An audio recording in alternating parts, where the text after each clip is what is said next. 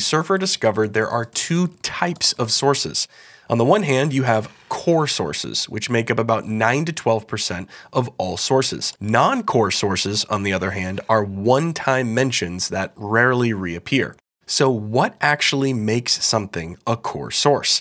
Well, based on Surfer's analysis, core sources share several key characteristics. First is consistent high rankings.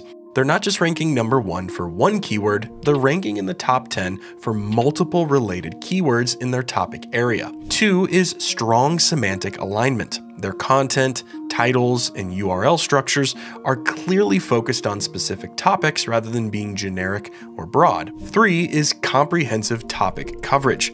They don't just answer one question, they address the full spectrum of user questions around a particular topic. And four is content freshness and authority. They maintain and update their content and have built genuine expertise signals over time.